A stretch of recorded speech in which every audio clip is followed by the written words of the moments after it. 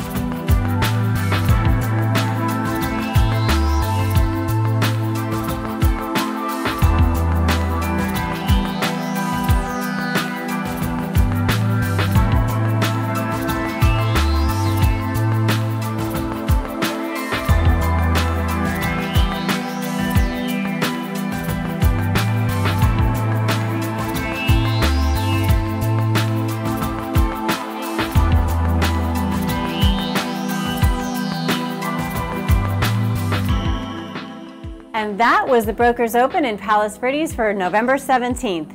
If you'd like information on any of the houses that you saw today, please contact the agents directly. Have an amazing week. We'll see you Friday in Manhattan and Hermosa Beach.